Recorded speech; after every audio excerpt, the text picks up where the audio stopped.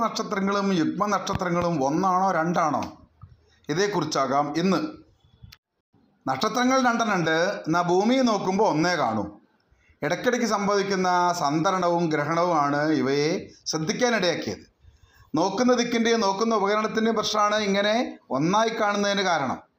പരസ്പരം ഭ്രമണം ഭ്രമണം ചെയ്യുന്ന ഇരട്ട നക്ഷത്രങ്ങളെ യുഗ്മ നക്ഷത്രങ്ങൾ എന്ന് വിളിക്കുന്നു. ചിലവയുടെ കാര്യത്തിൽ രണ്ടും ഒന്ന് തന്നെയാകുകയും ചെയ്യും. നമുക്കിവിടെ രണ്ട് ഒന്ന് എന്ന നിലയ്ക്ക് പരിശോധിക്കാവും നല്ലത്. കൂടുതൽ കൺഫ്യൂഷൻ ഒഴിവാക്കാലോ. ഈ ജ്യോതിഷികൾ ഇതിൽ ഒന്നാം രാശിയായ മേടം മുതൽ ഒന്നടവിട്ട രാശികളെ ഓജരാശികളെന്നും രണ്ടാം രാശിയായ ഇടവ് മുതൽ ഒന്നരവിട്ട രാശികളെ യുഗ്മരാശികളെന്നും വിളിക്കുന്നു. അതായത് മേടം മിഥുനം ചിങ്ങം തുലാം ധനു കുംഭം എന്നിവയാണ് ഇവർ ഓജം രാശികൾ എന്ന് പറയുന്നത്. എന്നാൽ ഇടവം കർക്കിടകം കന്നി വൃശ്ചികം വരു മകരം മീൻ എന്നിവ യുക്മൻ രാശികളാണ്. ഓർത്തു വയ്ക്കാൻ സഹായമാണ് എന്നാണ് ഇതുകൊണ്ടുള്ള ആകെ ഒരു നേട്ടം. ഈ യഥാർത്ഥത്തിൽ യുഗ്മ യുഗ്മ നക്ഷത്രങ്ങൾ എന്നാൽ എന്താണ്? പൊതുവായൊരു ഗുരുത്വകേന്ദ്രം അതിനു ചുറ്റും പരസ്പര ആകർഷണം മൂലം പരസ്പര ഭ്രമണം ചെയ്യുന്ന രണ്ട് നക്ഷത്രങ്ങൾ. ആകാശങ്ങ ഗാലക്സിയിലെ പകുതിയോളം നക്ഷത്രങ്ങൾ ഇത്തരത്തിലുള്ളതാണ്. നമ്മൾ ഭൂമിയിൽ നോക്കുമ്പോൾ നഗ്നേത്രം കൊണ്ട് നോക്കിയാൽ ഒരു നക്ഷത്രമേ കാണൂ. എന്നാൽ ടെലസ്കോപ്പിലൂടെ നോക്കിയാലോ രണ്ടെണ്ണത്തിനെയും കാണാം.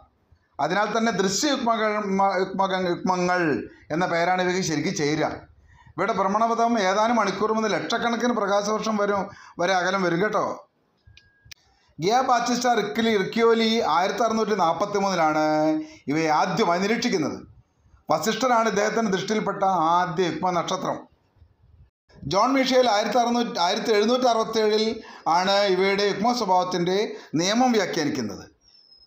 എന്നാൽ വില്യം ഹെർഷറാണ് ഇവയെക്കുറിച്ച് ആഴത്തിൽ പഠനം നടത്തിയ വ്യക്തി. ഒന്ന് മറ്റേതിനെ പരിക്രമണം ചെയ്തുകൊണ്ടിരിക്കുകയാണ് എന്നും ഇത് ഇവ തമ്മിലുള്ള പരസ്പര ആകർഷണത്തിന്റെ ഫലമാണ് എന്നും ഹെർഷൽ വിശദീകരിച്ചു. ആയിരത്തി എഴുന്നൂറ്റി എഴുപത്തൊമ്പതിൽ വില്യം ഹർഷൽ എഴുന്നൂറ് യുഗ്മ നക്ഷത്രങ്ങളുടെ ഒരു പട്ടിക തന്നെ തയ്യാറാക്കി. രണ്ടായിരത്തി എട്ടിൽ ഒരു ലക്ഷത്തോളം യുഗ്മ നക്ഷത്രങ്ങളുടെ പട്ടിക വാഷിങ്ടൺ ഡബിൾ സ്റ്റാർ കാറ്റലോഗ് പ്രസിദ്ധീകരിച്ചു. ഘടക നക്ഷത്രങ്ങൾ തമ്മിലുള്ള അകലവും പരിക്രമണകാലവും കണക്കാക്കിയാണ് ഇവയെ വിഭജിച്ചിട്ടുള്ളത്. ഇവയെ നാലായി നമുക്ക് തിരിക്കാം. ഒന്ന് ദൃശ്യയുഗ്മ നക്ഷത്രങ്ങൾ രണ്ട് വർണരാജി യുഗ്മങ്ങൾ മൂന്ന് ഗ്രഹണ യുഗ്മങ്ങൾ നാല് ജ്യോതിശാസ്ത്രപരമായ യുഗ്മങ്ങൾ.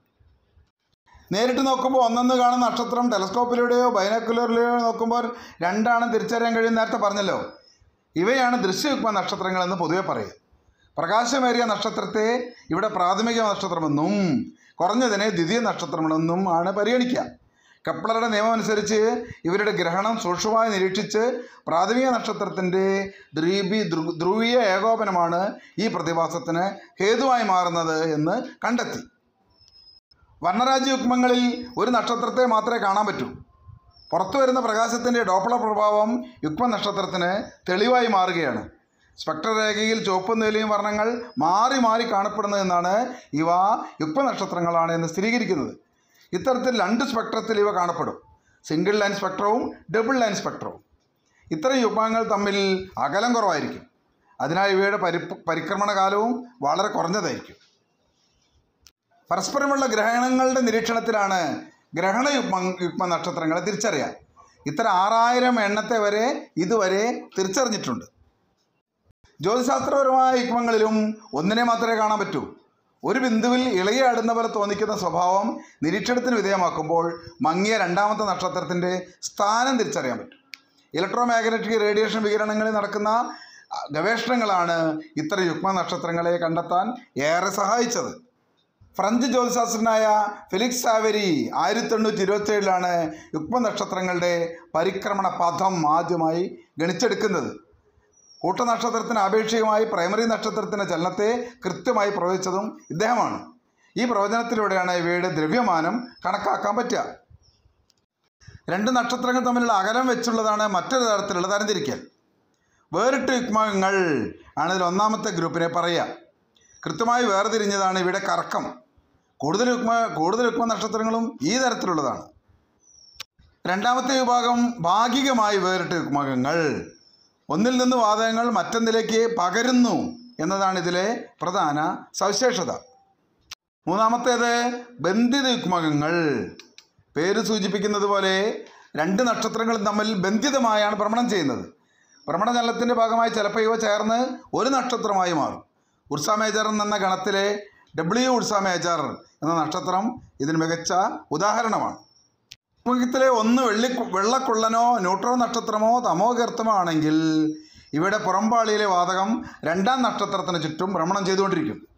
ഇവയിൽ നിന്ന് ഗുരുത്വാകർഷണ ഊർജം ഉത്സലിച്ചുകൊണ്ടിരിക്കും. ഭ്രമണ സമയം തീരെ കുറവായിരിക്കും എന്നതാണ് ഇവയുടെ മറ്റൊരു സവിശേഷത. നക്ഷത്രങ്ങളിൽ ഗ്രഹങ്ങളുടെ സാന്നിധ്യവും ഇതിനകം തിരിച്ചറിഞ്ഞിട്ടുണ്ട്. യുഗ്മങ്ങളെ പോലെ ത്രയങ്ങളായ നക്ഷത്രങ്ങളും ബഹുനക്ഷത്രങ്ങളും ഒക്കെ ഉണ്ട് കേട്ടോ പ്രപഞ്ചത്തിൽ. പേഴ്സിസ് ഗ്രൂപ്പിലെ ആൾഗോർ ഒരു ത്രയ നക്ഷത്ര കൂട്ടത്തിൽപ്പെട്ടതാണ് ഇനി നമുക്ക് ചില പ്രധാന യുഗ്മ നക്ഷത്രങ്ങളെ പരിചയപ്പെടാം. സപ്തർഷി മണ്ഡലത്തിലെ വസിഷ്ഠൻ തെക്കൻ കുരിശിലെ അൽബീറിയോ തെക്കൻ കുരിശിലെ തന്നെ Cygni sixty one dolphin gamma Delphini ആൻഡ്രോമിഡയിലെ Almach ലൈലയിലെ എപ്പിസ് എപ്പിസിലോൺ ലെയറെ ഓറിയോണിലെ മിനിട്ടാക്ക ഭദ്രപാദ ചതുരത്തിലെ ബിസിലോൺ പെഗാസി കാസിയോപ്പിയയിലെ ഇറ്റാ കാസിയോപ്പിയ കൂടാതെ ചില കൂടാതെ ചില രാശികളിലുമുണ്ട് ഇപ്പം നക്ഷത്രങ്ങൾ. മേടൻ രാശിയിലെ അശ്വതി മിഥുന രാശിയിലെ കാസ്റ്റർ കന്നിരാശിയിലെ ഗാമ വിജനിയസ് വൃശ്ചികൻ രാശിയിലെ തൃക്കെട്ട വൃശ്ചികൻ രാശിയിലെ തന്നെ അനിഴം ധനുരാശിയിലെ കാപ്രിക്കോർണി ആൽഫ കുംഭൻ രാശിയിലെ സീറ്റ അക്യോറി. നക്ഷത്ര രൂപീകരണത്തെക്കുറിച്ചുള്ള വിവരങ്ങൾ അറിയാനും അകലെയുള്ള നക്ഷത്രങ്ങളുടെ പിണ്ഡം കണക്കാക്കാനും ഇത്തരം യുഗ്മ നക്ഷത്രങ്ങളെക്കുറിച്ചുള്ള പഠനങ്ങൾക്ക് ജ്യോതിശാസ്ത്രത്തിൽ വലിയ പ്രാധാന്യമുണ്ട്. നന്ദി.